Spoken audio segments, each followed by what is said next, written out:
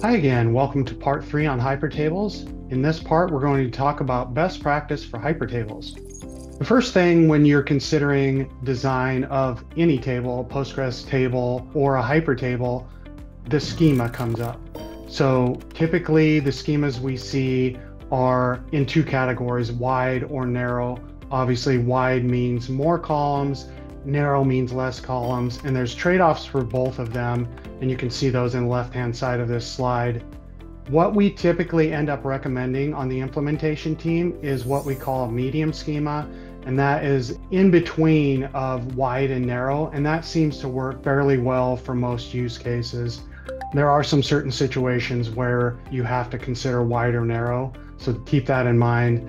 And many times what we recommend is testing to see how it performs and how operationally heavy it is. Sometimes if you do things with more database objects, it will create uh, some resource constraints trying to manage all of the different things that it has to in the back end. The other consideration as far as schema or table design is metadata. You can split your metadata information into a regular Postgres table and join with a hypertable, or you can keep that in the same hypertable. And again, it depends on what you're trying to do and how operationally heavy it is for you to put your queries, all of your queries into a join format if needed. So just consider those things.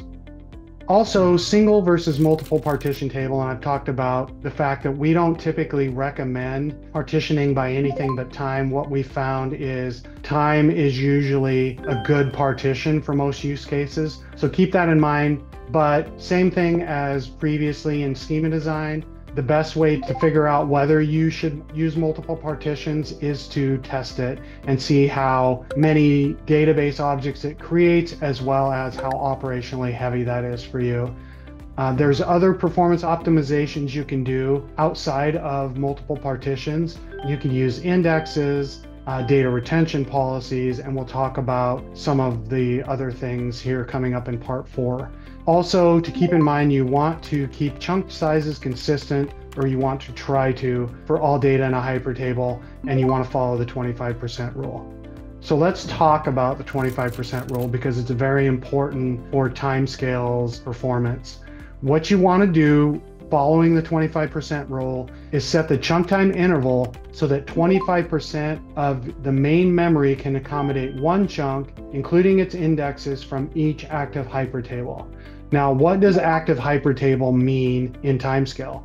An active hypertable is a hypertable that is actively being written to, and that's typically via a streaming ingest process. What that means is when you are implementing timescale, you have to consider all of your active hypertables.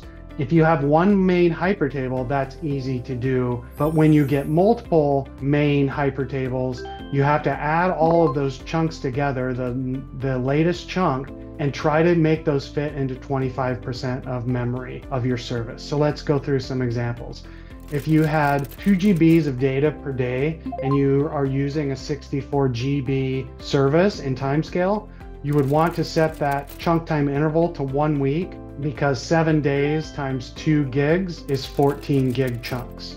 If you had a 10 gig per day of data, you would want to set that interval to one day because one day times 10 gigs is 10 gig chunks. And the important part to stress on this is you want to fail on the side of low rather than high as far as that 25%. And the reason for that is a lot of times with optimization and performance, it comes down to having things in memory. And what it allows you to do with a smaller chunk size is timescale and Postgres in general can evict and put chunks back in more efficiently when they're small as opposed to big. So always round down and fail on the side of smaller chunks. That's it for best practices. We'll see you in part four, where we'll talk about some subjects that are lesser talked about and more intricate details of implementation. Thank you.